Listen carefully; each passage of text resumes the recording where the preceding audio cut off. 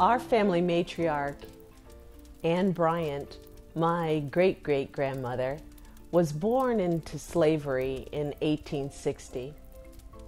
Her mother, Lydia, was enslaved and taken from Sierra Leone, West Africa. Lydia and Annie, they took on the name Bryant. And when Annie was a baby, slavery was abolished. And as she grew up, she continued to work for the Bryant family and later became a sharecropper, farmer, and a midwife. Annie Bryant had 11 children. Her children's names were Corny, Roby, John, Ernest, Meddy, Wed, Lydia, Gade, Evelyn, Herbert, and Clinton. All of her children accomplished great things during their lifetime.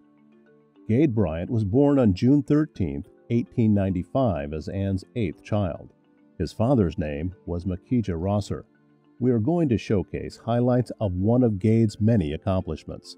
First, we will take a look at a brief history of Chatham County to highlight obstacles Gade faced when he moved to the community where he raised his family.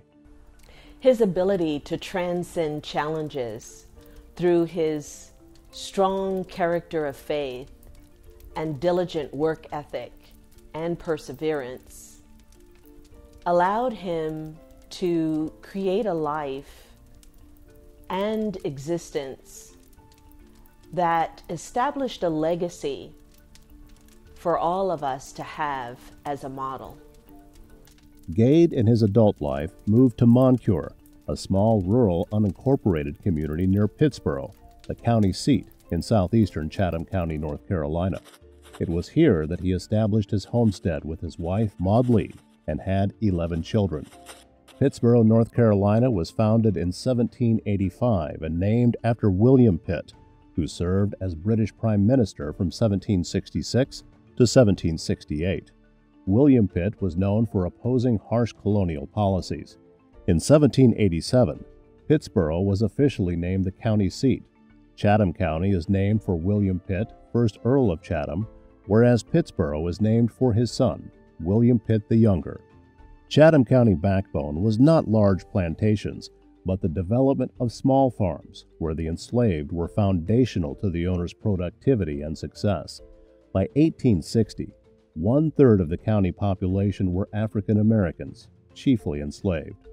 Chatham County is the home of James Waddell, commander of the Confederate cruiser Shenandoah, which carried the only Confederate flag that ever went around the world. As the county seat, Pittsboro has been a center of trade and local government, including the courts. Many farmers would come into town on the weekend for trade. In 1881, a new county courthouse and jail were built in Pittsboro. After the Civil War, European American violence against the recently enslaved increased in a determination to maintain the privileges and status of European Americans.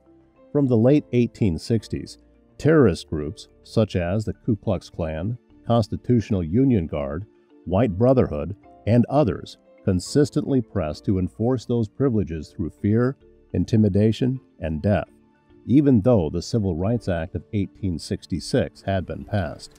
During the 1870s, Jim Crow laws were enacted locally and statewide.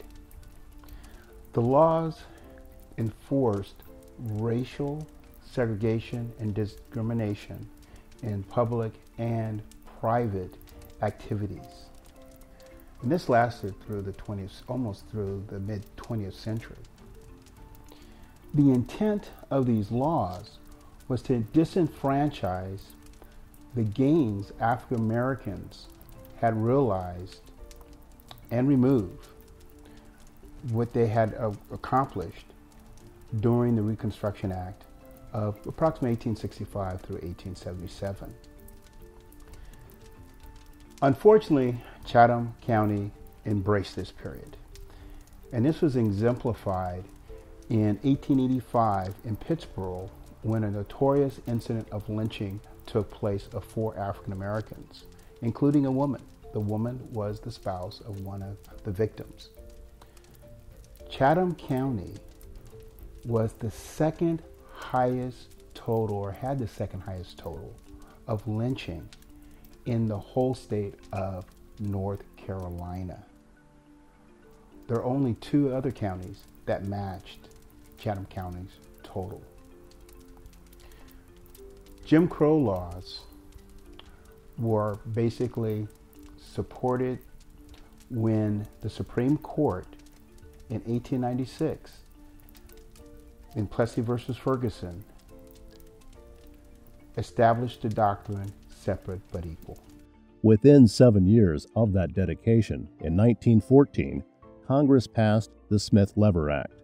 The act is a federal law that establishes a system of cooperative extension services connected to land grant universities to inform people about current developments in agriculture, home economics, public policy and government, leadership, 4 H, economic development, coastal issues, and several other related subjects. A key component was allowing farmers to learn new agricultural techniques through home instruction. Each eligible state received 30,000 acres of federal land, either within or adjacent to its boundaries, based on each member of Congress the state had as of the 1860 census. The land or proceeds from its sale was to be used towards establishing and funding the educational institutions. The African American farmers were being denied the resource allocations made available to European American farmers, which rendered their businesses and living conditions less competitive and efficient to European American farmers. They needed the same information on the latest farm and home processes and techniques made available to European American farmers. Let's point out a couple of um, facts before we move on. The Smith Lever Act worked in tandem with the Morrill Act of 1862 and 1890, the Agricultural and Mechanical College Land Act.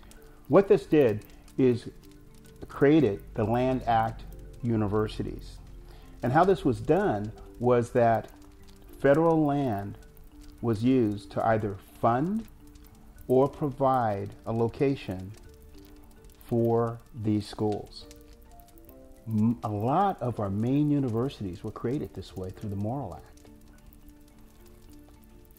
Now, the second point that we should consider is the act the Smith Lever Act did not appear to really want to fully fund African American farmers.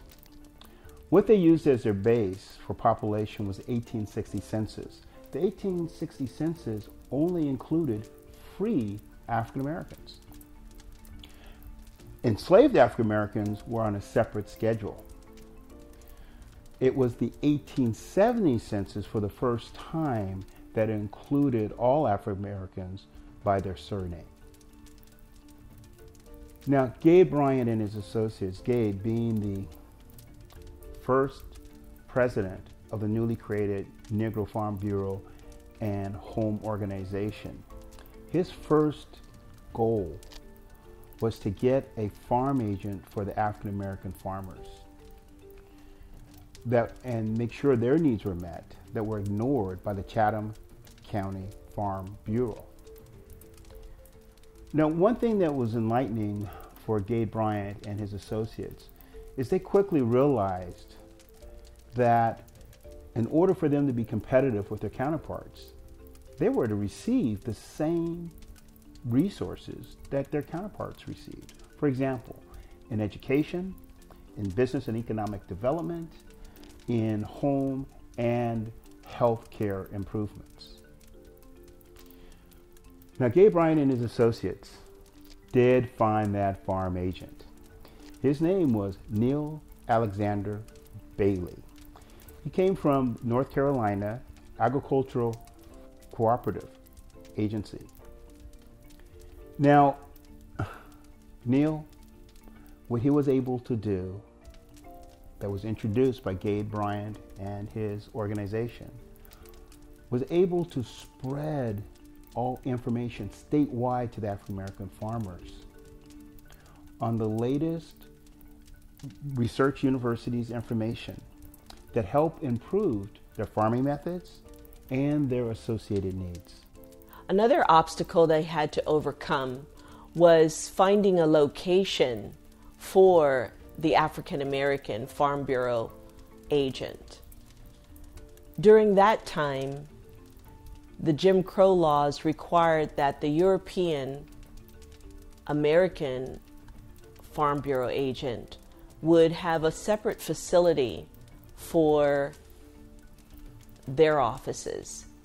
And as a result, Gade and the board members went from church to church in order to secure the donations to be able to purchase the bricks, hire the mason, and hire the carpenter in order to establish an office and a facility to house the African American Farm Bureau agent. And another obstacle arose because they were aiming to create a status quo situation for the African American Farm Bureau Association. And they offered, and this was the European American agent, along with the Chatham County Superintendent of Schools, offered to donate the land in exchange for the facility that would house the African American Farm Bureau agent. And Gade knew that this would be a subordinate situation, which would be similar to sharecropping and would allow for the European uh, Farm Bureau agent to be the supervisor over the African American Farm Bureau agent. So he turned down their offer and instead donated his property near to the Pittsboro courthouse and donated that land in order to purchase or have established their own facility uh, for their the African American Farm Bureau agent. Another obstacle arose where the government officials at that time, on a technicality, stated to the Negro Farm Bureau Association members that they had four less months to be able to erect their facility, or the offer and the opportunity would be over. And so the membership and GADE had to focus, they bore down, and they were able to continue and finish the building construction for the Negro Farm Bureau agent within the time that was stipulated. We're still benefiting this day. Gade Bryant was a true pioneer and hero. His approach to change was that of what is identified as social entrepreneurship. He made it possible not only for an education for their community's farming businesses, but worked together with the entities to establish family entertainment via a community fair and advocating to establish the first African police officers in Pittsboro. Gade Bryant was a God fearing man, a loving family man, a self made businessman, while simultaneously fulfilling the role as a community leader who advocated for a group of farmers and impacted a whole community. Annie Bryant and her son Gade Bryant and all of his siblings' DNA is in all of us. Carry on the legacy.